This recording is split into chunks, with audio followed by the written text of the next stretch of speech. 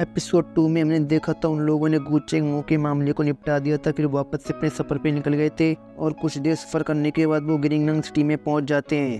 अब आगे। फिर रूपिंग ली को अपने डैड के पास ले जाती है। फिर हमें रूपिंग के डैड को दिखाया जाता है, जो बिस्तर पे बेहोश पड़े होते हैं। और ये होते हैं गु फैमिली के लीडर, इनका नाम होता है गु चुआंग। फिर रूपिंग अपने डैड को देखते हुए ली को अपने डैड के बारे में बताते हुए ली से कहती है, ये मेरे डैड है, इनका नाम गु चुआंग है। और ये गु फैमिली के लीडर है। ये गु फैमिली के लीडर ही नहीं, बल्कि गु ट्रेडिंग कंपनी के प्रेसिडेंट भी हैं। फिर हमें बटलर जाओ को दिखाया जाता है, जिसने अपने हाथ में एक बर्तन पकड़ रखा होता है और उसमें गर्म पानी होता है। बटलर जाओ उस गर्म पानी को देखते हुए कहते हैं, प्रेसिडेंट गु ने जब से अपनी बॉडी के अंदर उस ने की हड्डी को कल्टीवेट करने की कोशिश की है, तब से वो काफ़ी लंबे समय से बेहोशी पड़े हैं। वो सिगरेट टेकिंग सच में काफ़ी ज़्यादा खतरनाक थी। बटलर जाओ की बात सुनकर ली उन लोगों से पूछते हुए कहता है आखिर ये हैवानियत की हड्डी क्या है? क्या इसको बॉडी के अंदर कल्टीवेट करना अच्छी बात होती है या नहीं? ली की बात सुनकर मास्टर वो उसे हैवानियत की हड्डी के बारे में बताते हुए उससे कहते हैं, हैवानियत की हड्डी कुछ और नहीं, बल्कि बीस्टो का एसेंस होता है जिसे हम बीस्टो के अंदर से एब्जॉर्ब करते हैं। ज़्यादातर वाइल्ड बीस्ट के अंदर हैवानियत की हड्डी का एसेंस नहीं होता, लेकिन कुछ रेयर बीस्ट के अंदर हैवानियत की हड्डी का एसेंस होता है। हम उन वाइल्ड बीस्ट को मार के उनके एसेंस को एब्जॉर्ब करके अपनी बॉडी के अंदर हैवानियत की हड्डी को कल्टीवेट करते हैं। सभी ह्यूमन कल्टीवेटर्स इतने ज़्यादा कैपेबल होते हैं कि वो अपने अंदर एवानित की हड्डी को कल्टीवेट कर सकते हैं और उस एवानित की हड्डी के अंदर छुपी हुई हिडन टेक्निक को भी हासिल कर सकते हैं। लेकिन ये प्रोसेस सच में काफ़ी ज़्यादा खतरनाक है।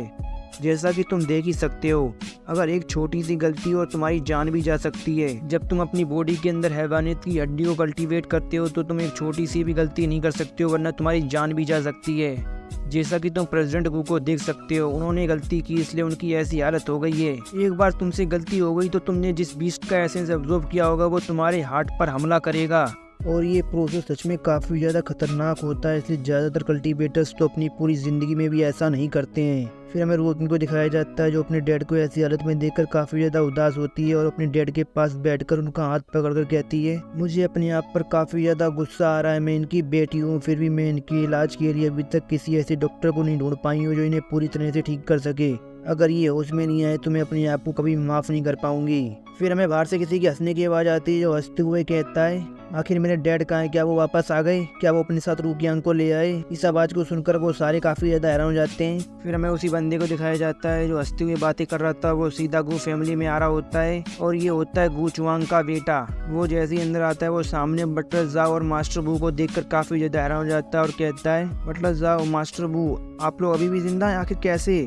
क्या आप लोग गु फैमिली को धोखा देकर वापस यहाँ भाग आए? उस बंदे की बात सुनकर गूतियांग को गुस्सा आ जाता है और वो चिल्लाती हुई उस बंदे से कहती है गूतियांग अपनी बकवास करना बंद करो और तुम्हारी हिम्मत कहती हो यहाँ पर आने की। ये सुनकर गूतियांग हंसने लगता है और हँसते हुए रूकियांग से कहता है, रूकियांग, तुम जल्दी मेरी बीवी बनने वाली हो, फिर आखिर तुम्हारी हिम्मत कैसे मुझसे इतनी रूडली बात करने की? क्या तुम्हें पता नहीं है कि अपने होने वाले फ्यूचर हस्बैंड से कैसे बात की जाती है? और वो आगे चिल्लाते हुए कहता है, आखिर मेरे डैड कहाँ पर हैं? उसे चिल्लाते हुए देखकर गु फैमिली के बाकी सारे मेंबर उसे घेर लेते हैं। फिर बटलर जाओ गूतियांग से कहते हैं, तुम्हें इधर उधर देखने की ज़रूरत नहीं है। तुम्हारे डैड पहले ही मारे जा चुके हैं। तुम्हारे डैड ने बैंडेड के साथ मिलकर हम पर और यंगमीज पर हमला करने की कोशिश की और इसी सब चक्कर में तुम्हारे डैड मारे गए। ये सुनकर गूतियांग काफ़ी ज़्यादा हैरान हो जाता है और चिल्लाते हुए कहता है, नहीं, ऐसा नहीं हो सकता। ये नामुमकिन है। अपनी बकवास करना बंद करो। तुम लोग मेरे डैड को कभी नहीं मार सकते। गूतियान की बात सुनकर रूकियांग उसे गू चैंग मुँह का टोकन दिखाते हुए, जो उसे गू फैमिली से गैलेंडर के तौर पर मिला था, उससे कहती है जरा इस टोकन को देखो। क्या ये तुम्हारे डैड का टोकन नहीं है जो हमारी फैमिली ने एक घंटर के तौर पे दिया था। अगर ये मेरे पास है तो, तो समझ जाओगे तुम्हारे डैड के साथ क्या हुआ होगा। तुम चाहे किसी से पूछ लो कि तुम्हारे डैड के साथ क्या हुआ। सब लोग एक ही बात कहेंगे तुम्हारे डैड मारे जा चुके हैं। ये सुनकर गुथियांग को काफ़ी ज़्यादा गुस्सा आ जाता है और वो चिल्लाते हुए कहता है नहीं ऐसा नहीं हो सकता है। तुम लोग मेरे डैड को कैसे मार सकते हो? मेरे डैड की मदद के लिए एक स्टेज फाइव का मार्शल आर्टिस्ट था। फिर आखिर तुम लोग मेरे डैड को कैसे हरा सकते हो? ये नामुमकिन है। और वो आगे चिल्लाते हुए कहता है, मेरे डैड ने इस गू फैमिली के लिए अपनी ज़िंदगी के इतने साल बर्बाद कर दिया और तुम्हारी इतनी ज़्यादा सेवा की। और तुम लोगों की हिम्मत कहते हो मेरे डैड को मानने की। तुम लोग तो काफ़ी बड़े कमीने हो मैं तुम लोगों से इसका बदला लेके रहूँगा। भले ही मेरे डैड मारे जा चुके हों, लेकिन मेरी बहन अभी भी मेरे साथ थे जो कि इस सिटी की सिटी लोड की बीवी है। आखिर तुम लोगों की हिम्मत कैसी मुझे ऑफेंड करने की? तुम लोगों को इसकी कीमत चुकानी पड़ेगी। भूतियांग की बात सुनकर बटलर जाओ रूकियांग से कहते हैं, मिस, मुझे लगता है कि अभी हमें जल्दीबाजी नहीं करनी चाहिए। इसने बिल्कुल सही कहा, इसकी सिस्टर सिटी लोड की बीवी है। और जहाँ तक मैंने सुना है कि इसकी सिस्टर सिटी रोड की सबसे फेवरेट बीवी है। मुझे लगता है कि अगर हम गूतियांग के साथ कुछ करते हैं तो उसकी सिस्टर हमसे बदला लेने की ज़रूर आएगी। फिर हमारे लिए थोड़ी मुश्किल हो सकती है। बटलर जाओ की बात सुनकर गूतियांग हंसने लगता है और हँसते हुए उन लोगों से कहता है, अब इससे कोई फ़र्क नहीं पड़ता है। मेरे डैड पहले ही मारे जा चुके हैं। और छोटी लड़की, तुम्हें क्या लगता है, तुम मुझे रोक सकती हो? नहीं, तुम मुझे नहीं रोक सकती हो। अब चाहे जो हो जाए रूपियांग तुम्हें मुझसे शादी करनी ही पड़ेगी। गुतियांग की बात सुनकर मास्टर को गुस्सा आ जाता है और वो चिल्लाते हुए गुतियांग से कहते हैं, अब एक कमीने अपना मुँह बंद रख। अगर तूने अपने मुँह से और बकवास की तो मैं तेरा मुँह तोड़ दूँगा और फिर तू उसके बाद कोई बकवास करने के लायक नहीं रहेगा। और मास्टर वो उस पर हमला करने के लिए आगे बढ़ने लगते हैं, लेकिन रूपियांग उन्हें रोक लेती है और उनसे कहती है, अंकल, वो आप पीछे रहिए, इससे मैं देखती हूँ। फिर रूपियांग गुतियांग से कहती है, मुझे पता है कि इस समय मेरे डैड की जान दाव पर लगी है, लेकिन मैं गु फैमिली की डिसेंडेंट और मैं अपने रहते गु फैमिली को कभी कुछ नहीं होने दूँगी। चाहे इसके लिए मुझे कुछ भी करना पड़े, लेकिन मैं गू फैमिली को ज़रूर प्रोटेक्ट करूँगी और मैं गु फैमिली की मदद करूँगी तुम्हारे जैसे कचरे को गु फैमिली से निकाल कर और रूकियांग गूतियांग से लड़ने के लिए तैयार हो जाती है। रूकियांग को गूतियांग से लड़ने के लिए तैयार होती है देख कर बटलजा और मास्टर को काफ़ी ज़्यादा हो जाते हैं और चिल्लाते हुए रूकियांग से कहते हैं, मिस, आपको ऐसा करने की ज़रूरत नहीं है, आपको उससे लड़ने की कोई ज़रूरत नहीं है। रूकियांग की बात सुनकर गूतियांग हँसते हुए उससे कहता है, तुम्हें क्या लगता है, तुम्हारी जैसी मामूली सी लड़की मुझे हरा सकती है जिसके पास कोई मास्टर सोल भी नहीं है? आखिर तुम्हारी हिम्मत कैसी? है मुझे चैलेंज करने की लगता है। मुझे तुम्हें एक सबक सिखाना पड़ेगा कि अपने होने वाले फ्यूचर हस्बैंड से कैसे बात की जाती है। गूतियांग की बात सुनकर रूकियांग को गुस्सा आ जाता है और वो चिल्लाती हुए गूतियांग से कहती है, अपनी बकवास करना बंद करो। अगर मैं जीती तो तुम्हें गू फैमिली से ही नहीं, बल्कि गिरियांग सिटी से भी बाहर जाना होगा। और तुम दोबारा कभी भी गिरियांग सिटी में वापस लौट कर नहीं आओगे और ना तुम गू फैमिली के लिए कोई प्रॉब्लम खड़ी करोगे। रूकियांग की बात सुनकर गूतियांग उससे कहता है, और अगर तुम हार गई तब क्या? ये सुनकर रूकियांग उससे कहती है, अगर मैं हार गई तो तुम मेरे साथ जो चाहे वो कर सकते हो। ये सुनकर गुतियांग काफ़ी ज़्यादा खुश हो जाता है और हँसते हुए रूपियांग से कहता है, खैर, जो भी हो, अगर तुम हार गई तो मैं तुम्हें मारूँगा तो नहीं, लेकिन मैं तुम्हें अपनी बीवी बनाऊँगा और फिर मैं तुम्हें बेड पे ले जाके तुमसे अपनी डैड की मौत का बदला लूँगा और तुम्हें इतना तड़पाऊँगा इतना तड़पाऊँगा जितना तुमने कभी सोचा भी नहीं होगा। और यही कहने के साथ भूतियांग अपना एक वेपन निकाल लेता है। और फिर आगे हँसते हुए कहता है, मैं तुम्हें अपनी डैड की मौत के बदले बेड पर इतना दर्द दूँगा, इतना दर्द दूँगा जितना तुमने कभी सोचा भी नहीं होगा। मेरी प्यारी होने वाली बीबी ये सुनकर रूकियांग को काफ़ी ज़्यादा गुस्सा आ जाता है और वो चिल्लाते हुए गोतियांग से कहती है, अपनी बकवास करना बंद करो कमीने और सीधा आकर फाइट करो।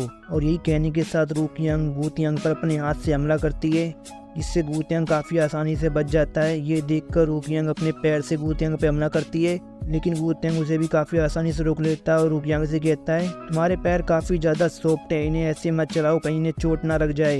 ये सुनकर रुकियांग को और ज़्यादा गुस्सा आता है और इस बार रुकियांग अपने पंच से हमला करती है गूतियांग पर, लेकिन गूतियांग इससे भी काफ़ी आसानी से बच जाता है। फिर गूतियांग अपना वेपन निकाल कर रूकियांग पर उससे हमला करता है, जो सीधा जाकर रूकियांग को लगता है, जिससे रूकियांग थोड़ी घायल हो जाती है। और ये देखकर गूतियांग हँसते हुए कहता है, अब तो मुझसे अपनी सुहागरात का इंतज़ार ही नहीं हो रहा है। और हमें रूकियांग को दिखाया जाता है, जो गूतियांग से लड़ते लड़ते काफ़ी ज़्यादा थक गई होती है। फिर गूतियांग वापस से रूकियांग पर हमला करने के लिए आगे बढ़ता है और उससे कहता है, मैं तुम्हें बेड पर तब तक दर्द दूँगा जब तक तुम मुझसे मौत की भीख नहीं मांगती हो। और वो अपने वेपन से रूकियांग पर हमला कर देता है, लेकिन उसका हमला रूकियांग तक पहुँचने से पहले ली बीच में आ जाता है और उसके हमले को अपने हाथ से रोक लेता है, जिससे ली के हाथ पर तो कोई फ़र्क नहीं पड़ता, लेकिन उसकी स्लीप फट जाती है और ली को अपने पास देखकर गूतियांग काफ़ी ज़्यादा शर्मा जाती है। ली को फाइट के बीच में आते हुए देखकर गूतियांग उस पर चिल्लाते हुए उससे कहता है, आखिर तू कौन है, कमीने आखिर तेरी हिम्मत कैसे मेरी फाइट के बीच में आने की और मेरा मज़ा खराब करने की? गूतियांग की बात सुनकर ली सबसे पहले अपनी फटी हुई स्लीप को देखता है और अपने कपड़ों को फटा हुआ देख कर ली काफ़ी ज़्यादा उदास हो जाता है। फिर वो गूतियांग से कहता है, मेरा नाम ली कियांग निंग है और मैं अपनी आँखों के सामने किसी औरत पे अत्याचार होती हुई नहीं देख सकता हूँ। तुम्हें रूकियांग से जितनी फाइट करनी थी तुमने कर ली। अब तुम्हें मुझसे फाइट करनी है। ली की बात सुनकर गूतियांग हँसते हुए उससे कहता है, अब तेरे जैसा एक मामूली सा लड़का मुझसे फाइट करेगा? जरा अपने कपड़ों को देख मेरे एक ही बार में तेरे कपड़े फट गए। ये सुनकर ली को गुस्सा आ जाता है और वो गूतियांग से कहता है तुझे पता भी है नए कपड़े मुझे मिस रूकियांग ने दिए थे, और ये कपड़े मुझे काफ़ी ज़्यादा पसंद थे, लेकिन तूने इन्हें फाड़ दिया। ली की बात सुनकर गूतियांग के साथ आए हुए लड़के हंसने लगते हैं हैं और ये सुनकर गुतियांग भी ली पर हमला करने के लिए आगे बढ़ जाता है और चिल्लाते हुए उससे कहता है, अब जो तेरे साथ होगा, उसके लिए मुझे ब्लेम मत करना। उम्मीद करता हूँ कि तेरी अगली ज़िंदगी इससे ज़्यादा बेहतर होगी, और अगली ज़िंदगी में तू कोशिश करना कि तू इतना ज़्यादा गरीब ना हो कि तुझे ऐसी मौत मरना पड़े। और वो ली पर हमला कर देता है, और वहाँ पर एक जोरदार धमाका होता है, लेकिन गूतियांग अपने सामने हमें कुछ देखकर काफ़ी ज़्यादा हैरान हो जाता है। फिर हमें दिखाया जाता है, ली ने उसके वेपन को बस अपने हाथों से ही रोक लिया होता है और ली उससे कहता है, इससे क्या फ़र्क पड़ता है कि मेरे पास अच्छे कपड़े नहीं है और इससे भी कोई फ़र्क नहीं पड़ता कि तुम्हारे पास काफ़ी ज़्यादा अच्छे कपड़े हैं, क्योंकि पावर किसी के कपड़ों से पता नहीं चलती है। और ली फिर अपने हाथ को उठाकर अपना पंच बनाकर सीधा गुतियांग की तरफ़ मारता है, जिससे इतना ज़्यादा फोर्स निकलता है, जिससे गुतियांग सीधा उड़ता हुआ पीछे दीवार से जाके टकराता है। और ऑन द स्पॉट वहीं पे मर जाता है। और इसी के साथ ये एपिसोड खत्म होता है। और अगर वीडियो अच्छी लगी हो तो चैनल को सब्सक्राइब कर दें और वीडियो को लाइक कर दें। और वीडियो देखने के लिए आपका बहुत बहुत शुक्रिया।